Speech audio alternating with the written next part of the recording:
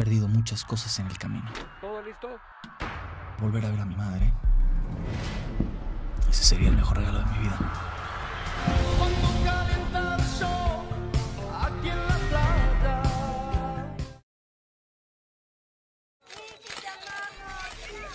Ha sido una vida muy intensa, muy apasionada.